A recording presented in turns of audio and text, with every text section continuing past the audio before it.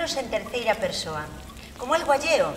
Eu vexo todo o que ten que ver con ser actriz e da interpretación como algo moi accidental, porque as cousas pasan porque estás nun sitio nun momento determinado e, e coincide así.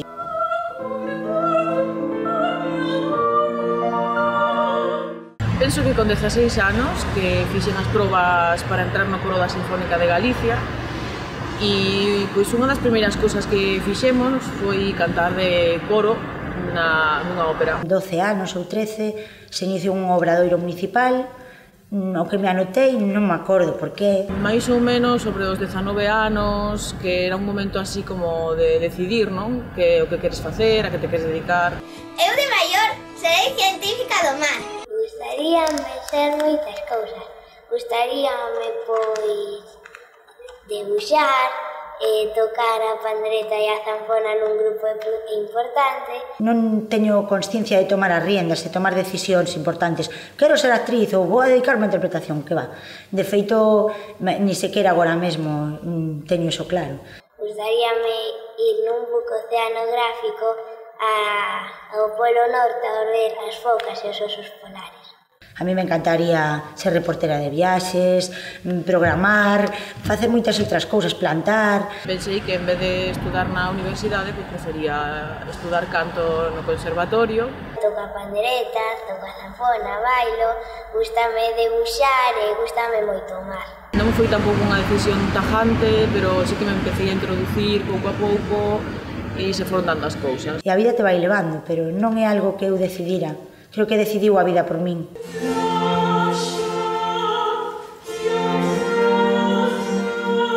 Eu penso que de todas as personaxes que interpretei, quizáis a que me deixou máis pegada foi eh, Lucia de la Multinacionais explotadoras, políticos corruptos, periodistas corruptos, banqueiros sen escrúpulo. Eu eh, nunca tiven nin, nin ídolos, nin, sabes, nin actrices as que me gustara parecerme. As miñas tías pois son biólogas e están estudiando pois unha cura para o cáncer. Os personas que me gusta interpretar son os que fago e os que vou facer.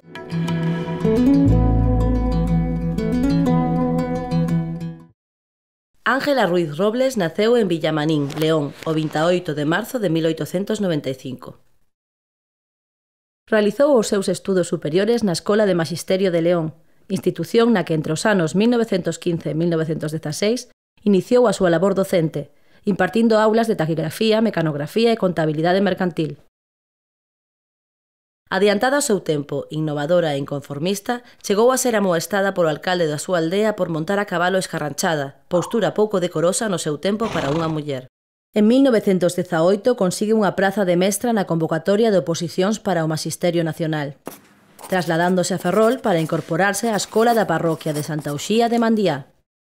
Nada máis chegar a Ferrol creou unha academia para adultos, alfabetizando a obreiros, mulleres e pescadores, chegando a impartir clases particulares de forma gratuita nos fogares dos seus conveciños tras finalizar o seu traballo. En 1934 é nomeada rexente da Escola Nacional de Nenas do Hospicio de Ferrol. No ano 1948 ocupa unha praza de mestra no Colexio Ibáñez Martín, actual Recimil, onde obtén o posto de directora no ano 1959, cargo que ocupou ata a súa subilación.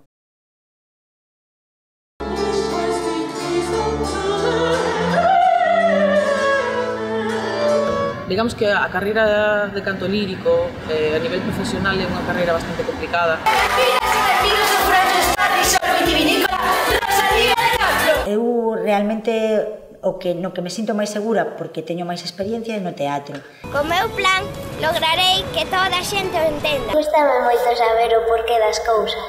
Agora mesmo eh, me gustaría participar máis de producións de audiovisual por varias razóns, pero principalmente para aprender mellor a linguaxe audiovisual, na que a veces me sinto un pouco torpe, por esta inseguridade normal. Estás moitas veces só, te, te enfrontas con moitísimas circunstancias, moitas delas non son especialmente agradables, e o único que compensa toda esa, digamos, sufrimento é o momento de subir ao escenario. A que pasa é que a veces pues, é imposible, tes que dedicarlle moitas horas a oficina, a produción, distribución para poder tirar para diante. Ese, hai un momento de búsqueda, don, tes que atopar a túa voz, cale a túa voz, entendela. Que en algo quere, algo lle gusta, e bueno, para logo poder ter as funcións e disfrutar do traballo interpretativo e máis artístico, pois hai ese lado oscuro que tes que ir zafando e facendo para, para logo disfrutar do outro, non?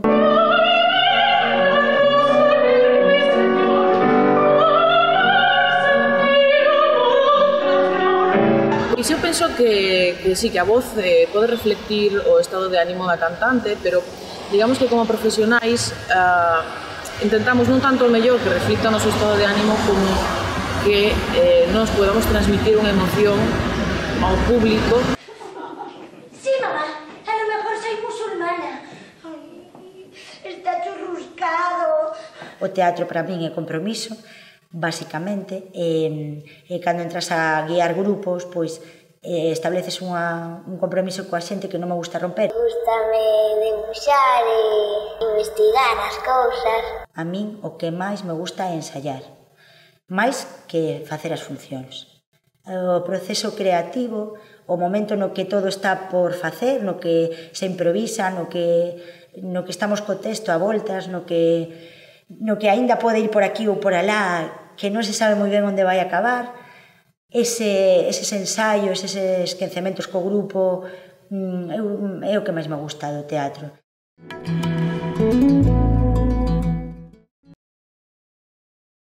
Desde o ano 1938 chega a publicar 16 libros en materias como ortografía, taquigrafía, mecanografía, gramática, historia e xeografía. En dous deles comeza a falar dunha máquina que ten como obxectivo innovar na enseñanza para que fose máis intuitiva e amena, conseguir o máximo de coñecementos co mesmo esforzo e adaptar o libro ao progreso tecnolóxico. Desenvolvendo esta primeira idea, en 1952, chega a inventar a Enciclopedia Mecánica, que incorporaba 1949 sons, un gran número de gráficos, autoiluminación, posibilidade de escribir, probabilidade de enlaces textuais, información multimodal, contidos actualizados, os idiomas castelán, inglés e francés. A enciclopedia podíase ler en horizontal e vertical. Chegou a construir un prototipo da enciclopedia mecánica no Parque de Artillería de Ferrol feito en bronce, madeira e zinc. Pero os altos costes de produción impediron a súa difusión comercial. Aínda así, podemos considerar estos inventos de Ángela Ruiz Robles como os precursores do actual libro digital ou e-book.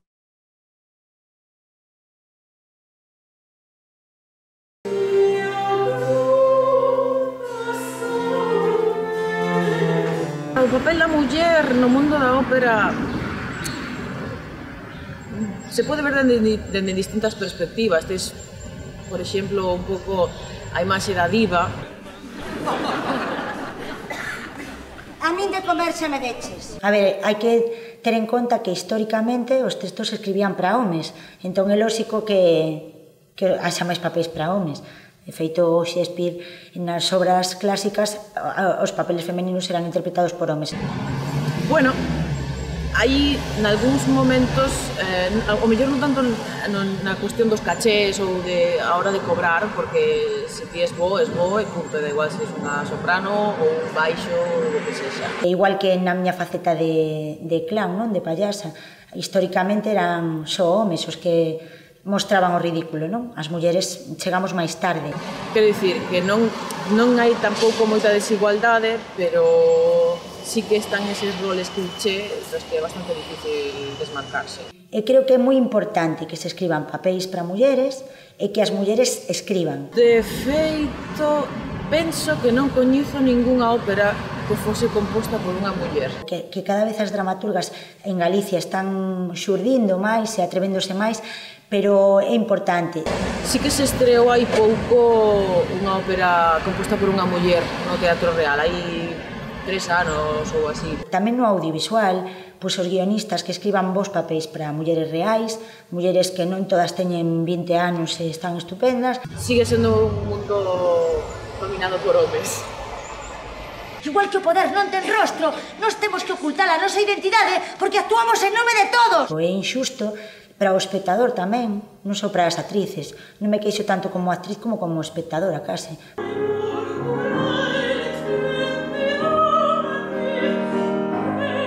mulleres teñen que ter acceso a, a todos e, eh, a todo en igualdade de condicións. Eu creo que a xente demanda eh, personaxes femininos potentes, con moito fondo, mulleres robustas e con vida, e non esas cousas mm, externas estereotipadas que, que non nos identificamos con elas.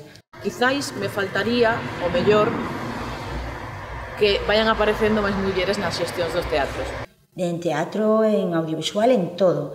Eh, é algo que temos que solucionar inmediatamente, é urxente que isto se solucione, é grave. Que ata agora, eh, bueno, eh, soe ser máis unha cuestión política tamén, e bueno, penso que poderían facer un bo traballo. Eu traballo e traballo bastante porque emprendo os proxectos, pero dende que fun nai, só tiven dúas oportunidades de, de traballar por algo que fora unha contratación externa, digamos. A tendencia habitual é que a, se ten que morrer alguén na ópera morra a muller. Entón, hai que solucionalo dende a escrita, dende a creación escénica, eh, a moitos niveis. Aí é eh, eh, un camiño todavía moi moi por desbrozar, eh? moi por desbrozar.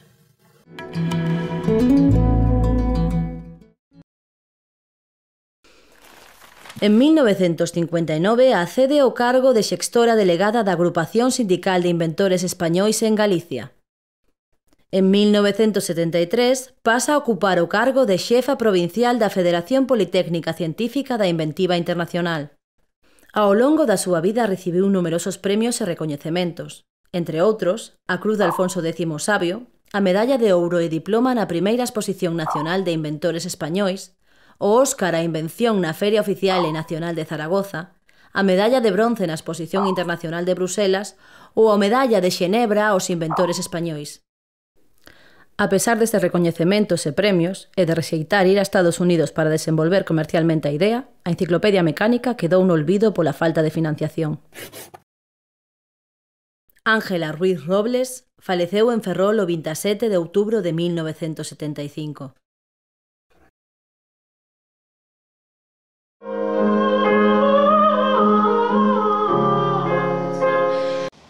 Ferrol eh, hai moita tradición eh, de cantar eh, de feito, bueno, temos aí pois, todo o tema das rondallas e, bueno, no seu momento tamén houve coros que funcionaron bastante ben. Xuvenís! Xuvenís!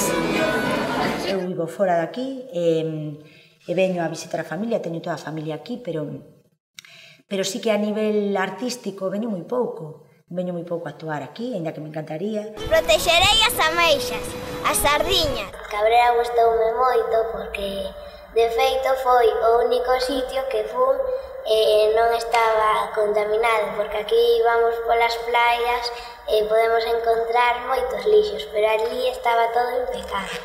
Penso que sí que é necesario sair fora para triunfar e, de feito, eu, por exemplo, cando estudié, estudié en Madrid, unha parte da miña carreira. Desa época e había moita xente que cantaba ben, que cantaba moi ben, E os únicos que a día de hoxe, eh, digamos, teñen unha carreira da que poden vivir, eh, que se dedican a cantar exclusivamente, pois son compañeiros que marcharon, por exemplo, a Alemanha ou incluso a Estados Unidos, E a min fora do mapa deu unha oportunidade de volver a reencontrarme con persoas coas que empecé a facer teatro aquí, neste mesmo sitio onde estamos, eh, de reconciliarme coa cidade, co ambiente de Ferrol, con reivindicar Ferrol, con cambiar o chip.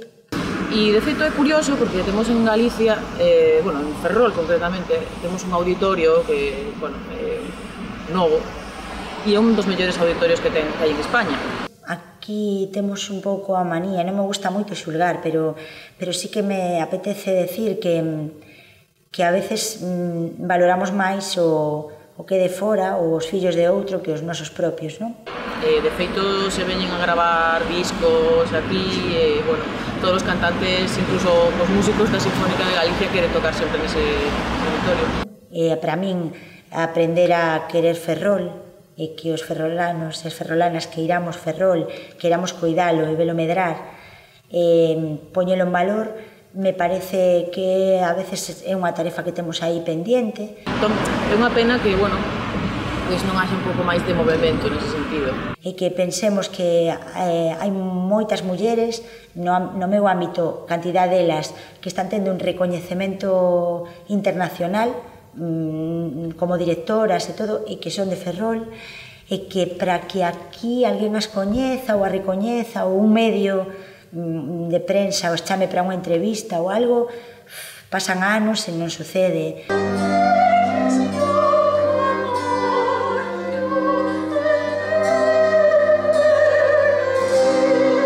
Para, para a cidade de Ferrol sería importante que volvan a traer máis lírica e que se aproveita muitísimo máis o auditorio.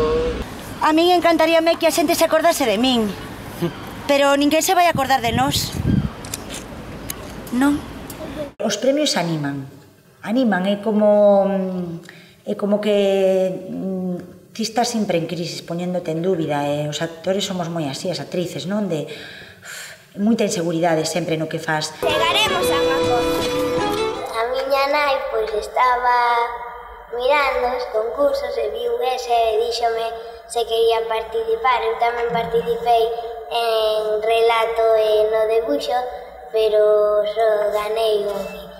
Eu creo que os as actrices prepotentes é unha é unha máscara. É moi difícil ser prepotente sendo actriz porque estás moi exposto. E nas escenas pois dama má risa e había que gravar muchas veces e gustou. E a miña inseguridade me acompaña no oficio e, e eso creo que ten tamén o seu lado positivo porque te obriga a non relaxarte, a, a querer sempre mellorar. O meu objetivo era hacer pensar a xente pois que non había que contaminar o mar e que protexer a costa pois tamén era un progreso. Mm, somos como nenos e necesitamos que nos motiven, que nos den reforzos positivos. O meu soño é que algún día o noso planeta pois estuveras en guerras e sen contaminación.